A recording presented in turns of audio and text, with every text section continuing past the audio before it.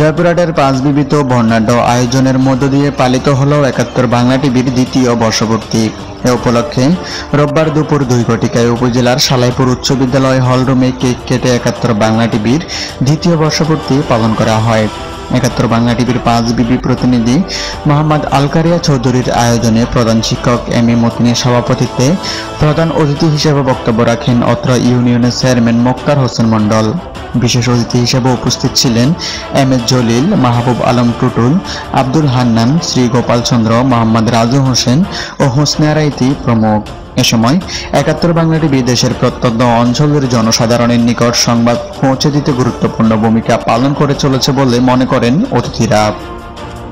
জয়পুরহাট থেকে আলকারিয়া চৌধুরীর পাঠানো তথ্যচিত্রে একাত্তর বাংলা নিউজ ডেস্ক।